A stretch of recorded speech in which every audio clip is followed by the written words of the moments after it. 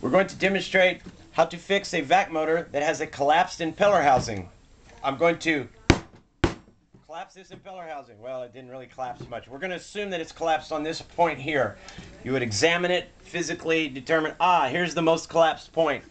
Then you're going to set it down. You're going to grab a nice flat screwdriver, set it right there, and then you're going to tap it lightly, like that and you're going to keep doing it. Sometimes it separates here, okay? You want to keep tapping it until it finally separates here, right here where the two cans come together.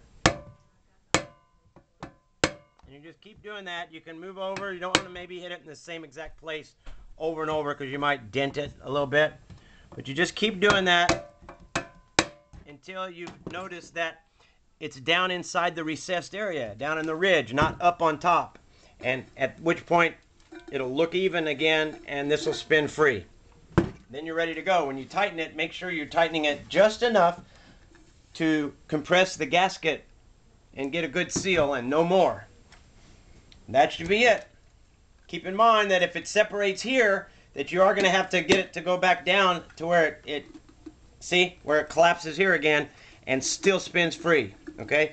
In other words, you may get it to spin free because it separated here but didn't separate here, which means you still need to work on it a little bit more because you'll need to keep tapping it till it this separates down. This the top can is recessed and this fits over it.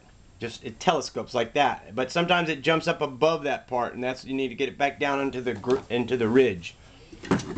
Lesson over.